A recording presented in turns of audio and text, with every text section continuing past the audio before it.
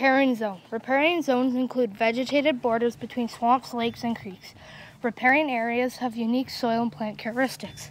A healthy riparian zone is mandatory for a healthy stream system. All wildlife and plants depend on riparian zones. They are very sensitive and can be impacted very easily. It requires a major majority of trees and plants to stop the bank from erosion. Riparian zone includes undisturbed zones by either logging in the area or turning their waterfront property with shrubs and alder trees to a lawn.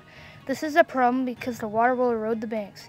Animals such as fish benefit from riparian areas for spawning, as fallen trees provide cover for trout, salmon, crayfish, and the baby salmon from predators such as birds and raccoons.